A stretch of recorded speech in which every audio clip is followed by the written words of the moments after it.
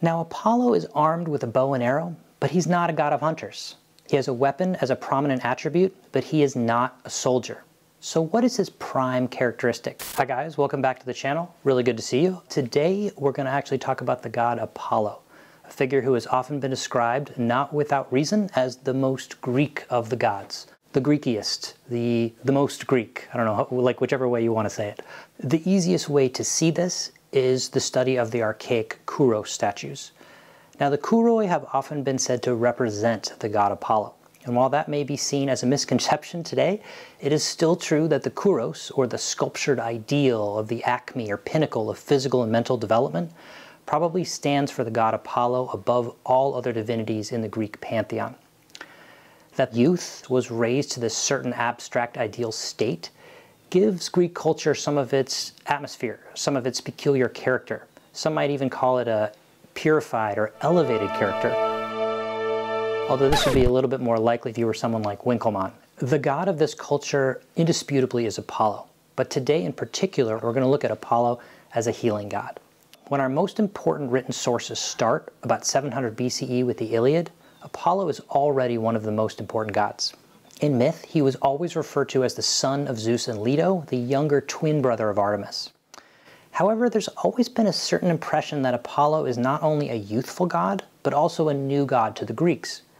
There's no clear evidence for him in Linear B, and his sanctuary in Delphi was not founded before the 8th century BCE. Some pretty strong evidence seems to point to the fact that Apollo was a god of Asia Minor, or more specifically, Lycia in modern-day Turkey. One of his most famous epithets is Lykaos, which could mean wolf god, or light god, or maybe just person from Lycia.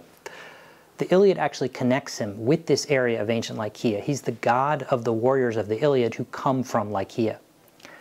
Now there's also this series of Apolline oracles running up and down the coast of Asia Minor, the most famous of which is Didyma, which we'll discuss in a little bit. Apollo possesses two sanctuaries which are sacred to all the Greeks and which exerted an almost missionary influence on the Greek culture which worshipped him. Those are Delos and Delphi. Delos is an island at the center of the Cyclades archipelago, separated from Rhenea or Greater Delos by a channel about one kilometer wide. The small, now uninhabited island is defined by the bare, conical Mount Cynthus, and actually Cynthian is another epithet of Apollo, which rises in its center to a height of about 113 meters.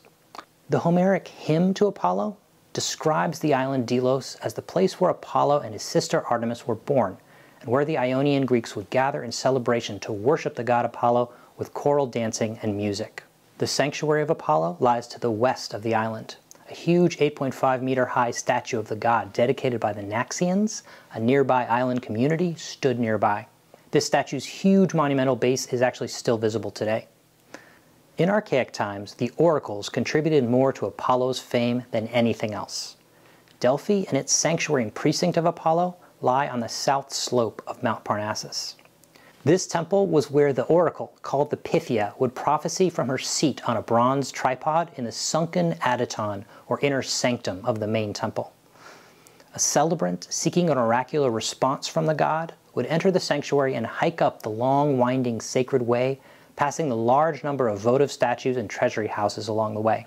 He or she would arrive at the temple and present an offering to the god Apollo, in hope of receiving oracular pronouncement and succor, aid in their predicament. There was also a Pentateric or every four year festival at Delphi, the Pythian Games. These games always involved a musical agon or competition, a competition for voice and the lyre, and of course the sporting events, with sprints and horse racing especially popular. The victor was presented with a laurel wreath, a tradition revived in Renaissance times with the crowning of a poeta laureatus, a poet laureate, Apollo is a god of healing. If you were someone in need of assistance, you would sing a paean to Apollo. The paean consisted of a refrain, i.e. paian, and then a call for your divine helper or healer, and then actually the details of your situation and what you needed the aid for would have to be included in this prayer. The song, the paean, could also be used in thanksgiving after aid had already been rendered, or not, or as a request for Apollo's presence on the battlefield, which is somewhat surprising. As always with gods, aid and goodwill needed to be prayed for assiduously and obsequiously. Taking the god's presence for granted could get you in trouble. The paean could be not only a request for healing, but also a hymn which appeased Apollo's very significant wrath. We will see that Apollo could be an extremely dangerous god when angry. In later times, the term paean was obviously exclusively an epithet for Apollo and a name for his song, and it appeared mostly in contexts where the god was needed to ward off evil and disease.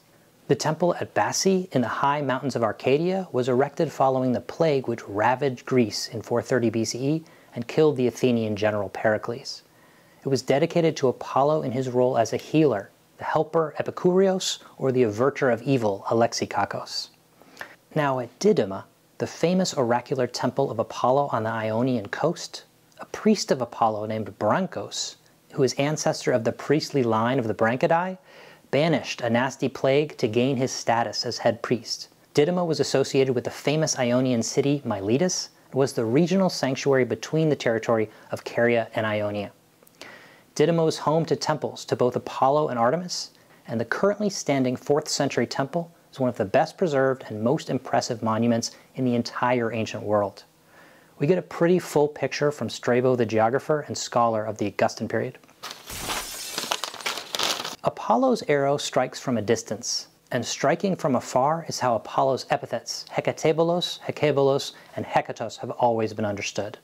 This aspect is especially prominent at his oracle at Delphi, where the Pythia, with the help of the prophetes or interpreter, gave predictions which were famously ambiguous and indeterminate. Apollo's epithet Loxias means oblique or obscure.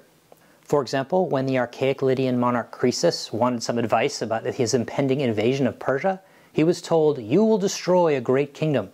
Unfortunately, it turned out it was his own.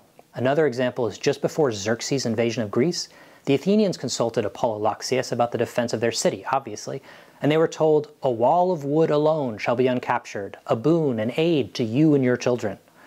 Now, some Athenians thought that this wall of wood was the literal wooden temple door of Athena on the Acropolis. Obviously, they were wrong. Themistocles, on the other hand, the great brilliant Themistocles, took it to mean the building of a fleet of wooden ships for the defense of the city.